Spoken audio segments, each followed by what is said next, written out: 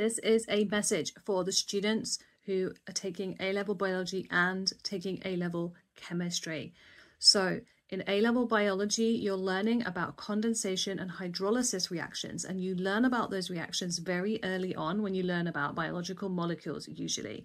And then you learn about them again towards the end of your A-level chemistry please don't switch off in your chemistry lessons and think, oh, I've done this in biology. I know what condensation is. Condensation is like when you lose water and you join molecules together, and hydrolysis is when you use water to break a bond.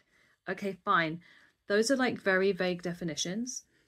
There are lots more details that you need to know in chemistry that are not quite the same. So, for example, in condensation reactions in chemistry, we often make things like HCl instead of water. It's not always water that is produced.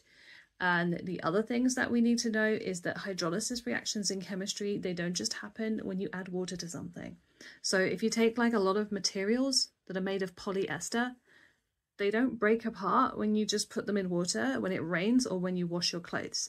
So actually hydrolysis in chemistry, because we don't have enzymes, we either need to have acid alkali conditions, and you need to pay attention to the different products that you get under those conditions.